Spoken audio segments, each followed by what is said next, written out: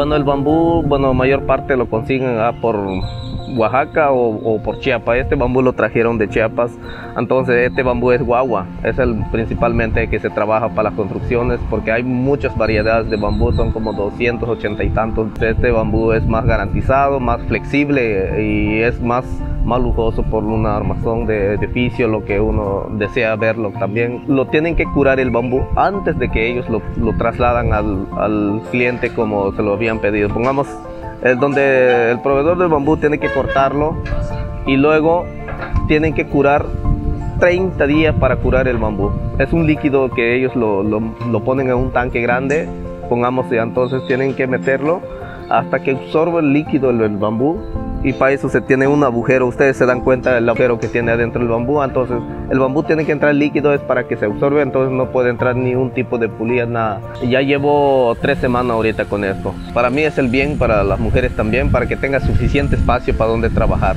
Tenga suficiente espacio, pues es un proyecto que ojalá que siga adelante todavía. Pues es para bien lo, la gente que, que se necesita ingresar en ese grupo, pues, pues por mí sería bueno también.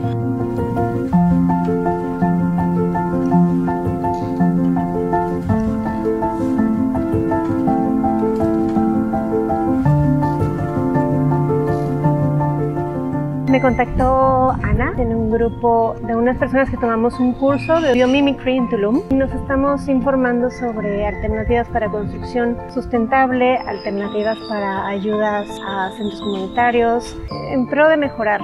Ella nos contactó y pidiendo voluntarios y me encantó venir a ayudar, conocer un poco. Siento que la gente que está trabajando sabe mucho, no escatiman en seguridad, rápido me dieron mi casco, me dieron mis lentes, todo y rápido me pusieron a alguien que me dirigiera cómo podía aportar. Bueno, y el lugar que tienen me encantó, cómo lo ubicaron, respetaron muy bien un árbol que está allá atrás. El construir con, con más gente y, crear una comunidad le suma mucho a cualquier proyecto. ¿no? El estar eh, conviviendo y ver cómo va trazando y ir respetando el espacio siempre va a hacer que el proyecto tenga mucha más buena vibra, mucha más estabilidad, sí recomendaría mucho que las instituciones dejaran por lo menos, quizás no todo su proyecto, porque quizás alguna parte lo dedicaran a que fuera una bioconstrucción o algo más sustentable, creo que sería fabuloso.